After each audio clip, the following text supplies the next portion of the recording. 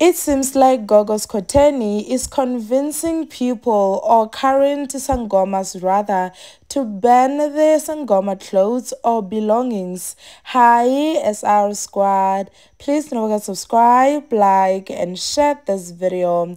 Now, you guys, I'm sure we all know by now that Gogo Skhotheni went to make this podcast, you know, podcast and chill, and she said, or she opened up about a lot of things that most people were not ready to hear and even if people knew about these things but they they were just not ready to hear this news especially coming from a sangoma you know. Um gogo skhotheni mentioned that um twasering or bungoma is actually a scam. It's a money making scheme.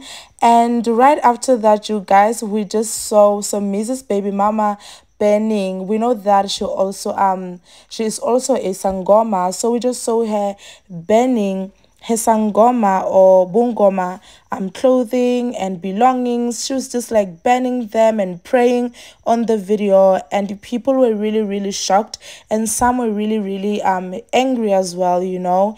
And under the video you guys gogo skhotheni commented and said congratulations sister. May god guide you and be with you.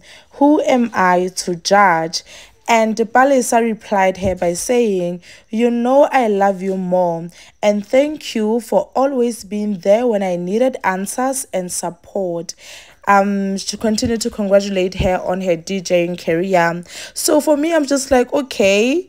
Um Palesa says, thank you for always being there when I needed answers. What answers? Right after MacG interviewed Gogo Skhotheni, then Palesa is now banning her, her, sang, her sangoma or bungoma clothing and belongings.